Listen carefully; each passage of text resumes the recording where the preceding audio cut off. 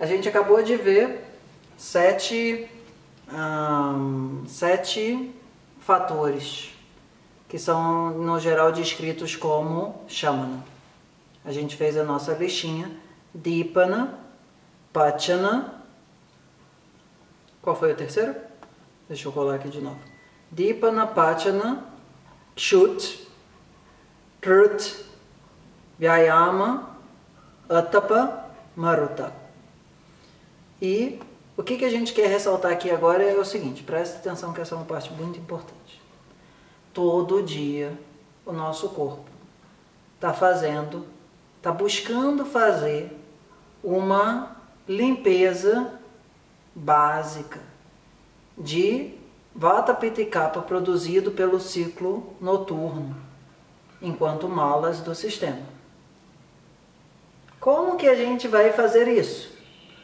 A gente, do ponto de vista do que a gente conversou até aqui, a gente vai fazer, vai acordar às 4, 5 da manhã, vai fazer atividade física, vai fazer pranayama, vai fazer um, sudação, oleação e etc. Ok? Mas qual é a ideia desse processo? Que agora a gente vai chamar ele de shamana. A ideia é que o buraco da agulha é fino. Vocês já tentaram botar um, o, o fio pelo buraco da agulha. É uma treta, né? Você tipo tem que ficar botando, o negócio não entra, aí você tem que puxar, aí você põe, aí o negócio passa um fiozinho só, aí etc e tal. Então, enquanto a gente está fazendo um estilo de vida mais adequado, a gente está ajudando o nosso corpo a destilar, atenção essa palavra, destilar você lembra daquela imagem do professor de química com aqueles negócios no laboratório que tem redondinho, sabe, para tipo cair num outro vaso? no outro recipiente de Becker ou qualquer coisa que seja. Para destilar a parte de Vata Pitta e Kapha enquanto malas novamente para dentro do costa.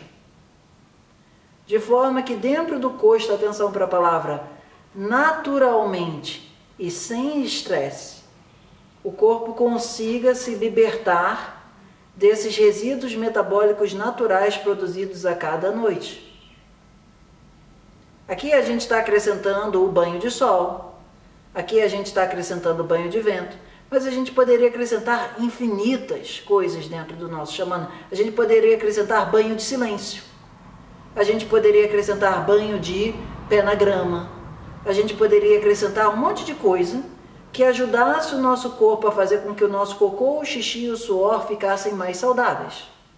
Por exemplo, outro dia, não tem, acho que dois, três dias, a gente fez o banho de banheira que a gente faz meio que a cada semana, a cada 15 dias.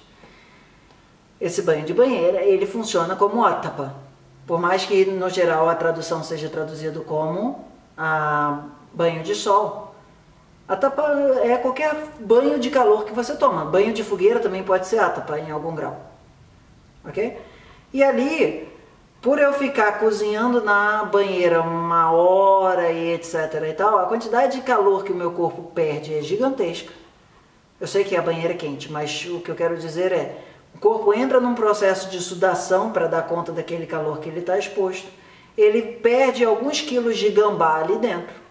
No dia seguinte, quando eu estou fazendo a estanga no quarto fechado, no geral, quando a minha esposa entra no quarto, fala: Você tá fedido, fedido, fedido, gambá, gambá, gambá. Sabe, tipo, gentalha, gentalha, gentalha. Ah, ela fala: Não, hoje você não tá fedido. Porque o banho de banheira funciona como uma forma de chamana. Mas se eu fizer ele todo dia, talvez não funcione, talvez ele não seja excessivo. Ok? Você sair para andar de bicicleta no domingo e tomar um monte de vento Talvez ajude você a melhorar teu capa. Se você fizer isso todo dia indo para o trabalho, talvez isso arrepende teu vata. Ok? Então, as terapias de xamana, não importa se aquilo é banho de sol, não importa se aquilo é banho de pessoa na rua, sabe? Tipo, eu preciso ver gente. São coisas que ajudam a normalizar, atenção para essa palavra, normalizar o fluxo de Vata Pitta Kapha enquanto malas, do Chakra para o Costa. De forma onde você veja o seu cocô xixi, suor e menstruação saindo de uma maneira mais adequada dentro de você e no final o que, que você fala? Quem precisa do panchakarma, panchakarma, panchakarma, quem precisa, ok?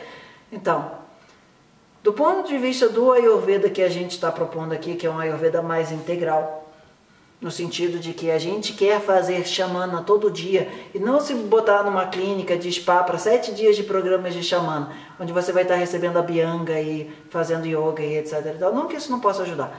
Mas, gente, dentro do contexto que a gente está falando aqui, xamana é um negócio que a gente deve buscar fazer todo dia. Então, se num determinado dia eu acordei todo arrebentado da quantidade de surf que eu fiz no dia anterior, o meu xamana vai ser ficar em Shavasana meia hora para o meu corpo produzir cocô em Shavasana. Se no outro dia o meu corpo precisa ficar meia hora torcendo meu fígado para um lado para o outro, fazendo Hanumasana e etc., para no final o cocô sair, digamos assim, bem empacotado, o que importa é a gente ter essa perspectiva.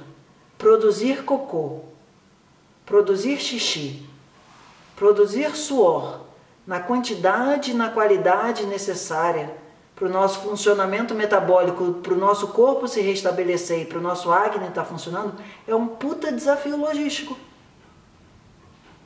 Esse desafio logístico, a gente aos poucos, entendendo o princípio do que é um cocô bem formado, do que é um xixi adequado, do que é um suor adequado, do que é uma menstruação adequada, a gente arrebenta a caixinha das 108 milhões de regras ayurvédicas e a gente emerge com um néctar de Amrut do Danvantari ali que é, cara, cada dia eu vou estar ali, eu e Dandan, assim, tipo, trocando um lero, e aí Dandan, o que, que a gente vai fazer hoje com o nosso Ayurveda? Ih, cara, hoje eu acho que é melhor não sei o que, etc e tal. E você, tipo, espelho, espelho meu, Dandan, Danvantari meu. Existe algum mal lá dentro de mim não purgado exatamente?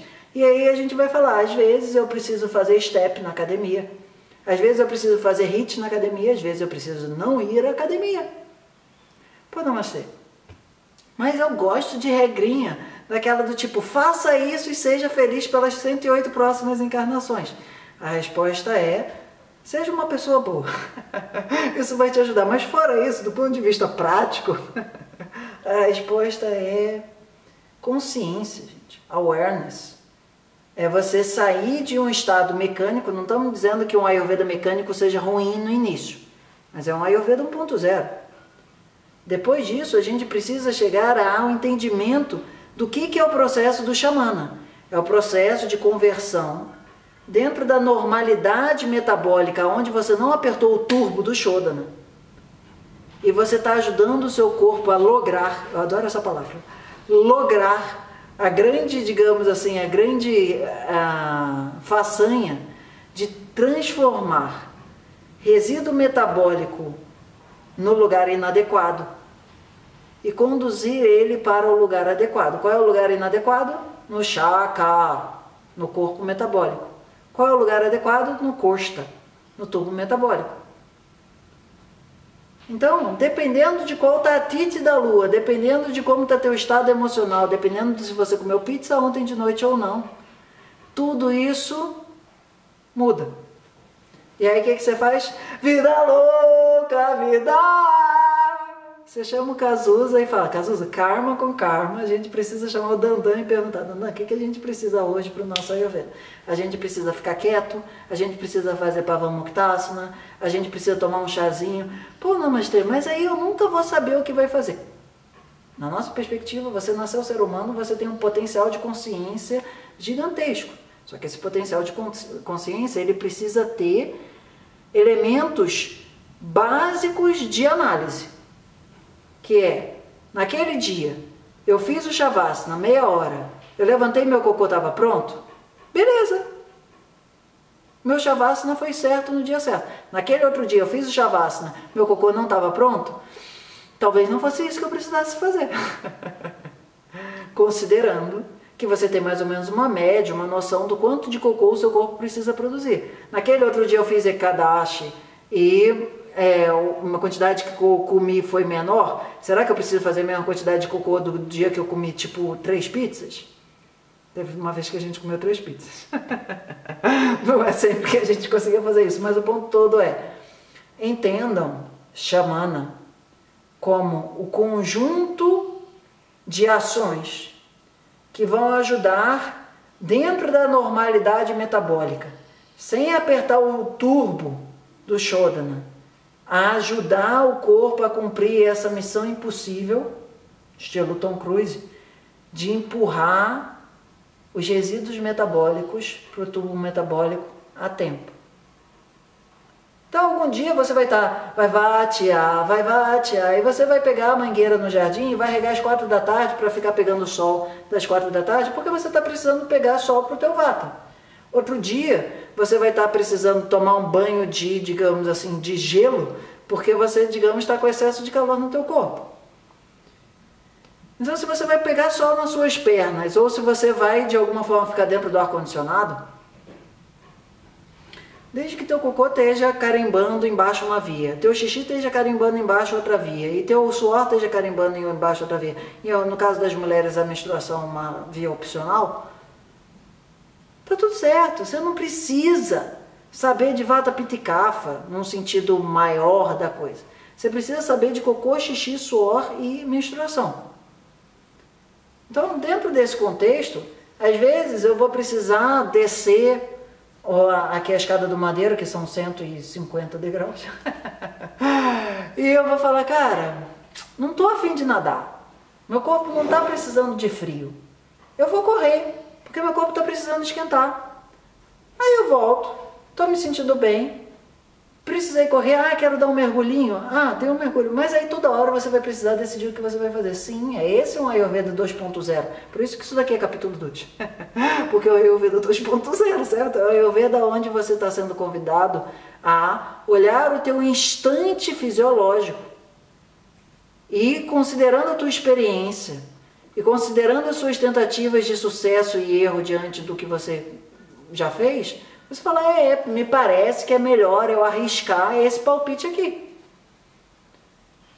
Se no meio da corrida a minha batata da perna começar a fisgar, eu vou falar, hum, talvez eu não deva continuar correndo o caminho todo. Talvez eu caminhe um pouco mais e volte, etc e tal. Mas a gente só pode entrar nesse Ayurveda 2.0, que é o que a gente está aqui no capítulo 2 da Shuin, depois da gente ter seguido um Ayurveda 1.0 dentro da caixinha, sem pensar muito, meio robótico, para a gente ter uma mínima noção do que, que é o A e do que, que é o B. Depois que você tem uma mínima noção do que, que é o A e o B, você começa a pensar o que, que significa B e o que, que significa BA. Ok? Mas isso é um processo, gente, é um processo de desenvolvimento, de consciência. Vamos chamar essa palavra, ela vai ficar bonita. Empoderamento ayurvédico através do Shamana. Empoderamento ayurvédico 2.0 através do Shamana. Ok? Porque dentro desse contexto, se a gente entende o Shamana como uma coisa que a gente deve fazer todo dia, a quantidade de Shodana que vai ficar sobrando na conta é muito baixa. Pode ser que você faça um Panchakarma, digamos assim, para gastar um dinheiro. Mas, se você não tiver nenhuma doença que esse Shamana não vai estar tá dando conta, você não precisa fazer Shodana para manter a tua saúde. Você precisa fazer chamana diariamente. Seja como atividade física, seja como oleação, seja como pranayama, seja como mantra, seja como for, não importa. Ok? Mas é aquela história do tipo, a partir de agora você vai ter que comer com o suor do próprio rosto. a partir de agora, para você manter a tua saúde, você vai precisar se conscientizar desse grande gap, desse grande abismo que existe entre você dormir, o teu corpo razoavelmente se reproduzir, se consertar, deixar resíduos metabólicos que precisam ser purgados no momento adequado, na quantidade adequada, porque senão essa é a raiz do teu processo de doença, só porque você, entre aspas, dormiu e se reconstituiu. Ok? Então, por que, que a gente está seguindo rotina diária ayurvédica? Não é porque aquilo dali está ajudando a gente ser saudável só. A gente está seguindo rotina ayurvédica, porque a rotina ayurvédica é um elemento para fechar a conta do processo de reconstituição metabólica, reconstrução metabólica. Ok? Então, para a gente fechar, Reconstruir metabolicamente é, entre aspas, sujo. Deixa resíduos. Para o corpo manter limpeza metabólica, o Agni funcionar, você precisa fazer faxina nesses resíduos metabólicos antes que eles fermentem. E dentro do contexto que a gente está conversando, a gente está chamando isso de chamana. Onde a gente saiu um pouco do contexto de tipo oleação e sudação, pranayama e atividade física, que é o que a gente faz no capítulo 1. E a gente começou a falar, às vezes, ficar com o pé na parede é o que eu preciso. Às vezes, ficar de alguma forma ah, tomando banho de sol na bacia é o que eu preciso. Às vezes, me expor ao vento é o que eu preciso. Estamos abrindo um pouco a nossa caixinha. Ok? Vamos aos comentários, pessoal que está aí no YouTube. Isso daqui é um oferecimento do capítulo 2, turma 5. Aguardamos vocês na próxima turma do Ashwin, capítulo 1, turma N. Vamos às perguntas.